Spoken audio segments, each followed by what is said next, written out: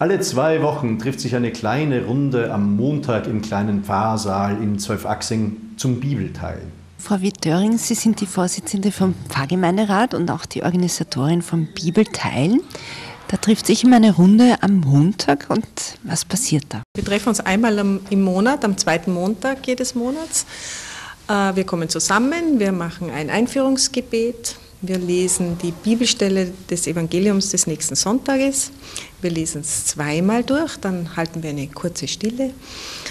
Und dann äh, teilen wir miteinander, was uns die Bibel sagt, beziehungsweise uns anspricht, was unser Herz trifft, was unsere Alltagssituation trifft.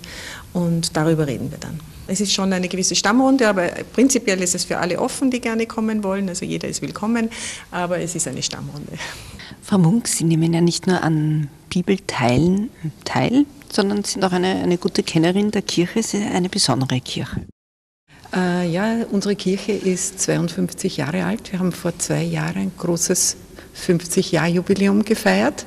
Unsere Kirche ist äh, der heiligen Dreifaltigkeit geweiht und äh, das Besondere an unserer Kirche ist, dass sie vom Architekten Clemens Holzmeister gebaut wurde. Es war eine seiner letzten Kirchen und äh, deshalb steht unsere Kirche auch unter Denkmalschutz. Also für mich ist das meine Kirche. Ich bin hier nach Zwölfachsen gekommen, da war ich äh, acht Jahre alt, da hat es noch die alte Kirche gegeben und äh, Während ich hier gewohnt habe und auch immer am kirchlichen Leben teilgenommen habe, ist diese Kirche gebaut worden und ich bin eigentlich von Anfang an immer in dieser Kirche gewesen. Und was ganz besonders ist, ist unser Fenster. Das ist nach Westen ausgerichtet und leider haben wir heute keine Sonne, aber wenn da die Abendsonne reinscheint, ist die ganze Kirche mit Licht erfüllt. Und dieses Fenster symbolisiert die Taufe. Im Innenhof steht ja auch ein Mandelbaum, der gerade in voller Blüte ist. Wie lange steht denn der Baum schon da? Wissen Sie das?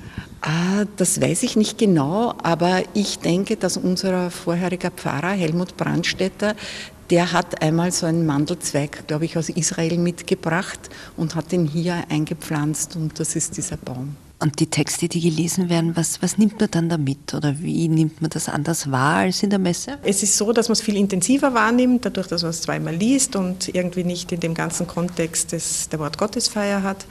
Und äh, es ist faszinierend, dass einem eben immer irgendetwas anspricht, obwohl das 2000 Jahre alt ist. Wie lange wird es Bibel, das Bibelteil noch geben oder wo kommt das eigentlich her? Ich hoffe, es wird es immer geben. Es wäre schön, wenn es es immer geben würde in jeder Pfarre. Äh, es kommt daher, dass, äh, also eigentlich aus der Input von der Erzdiözese, dass es eben wichtig ist, dass wir uns als katholische Christen mit der Bibel befassen, dass das unser, unser wichtigster Bestandteil ist und dass wir sie viel zu wenig kennen, auch wenn wir sie am Sonntag hören in der Messe, aber dass es wichtig ist, dass wir uns damit befassen und das ist eben eine Initiative der Erzdiözese gewesen. Ja.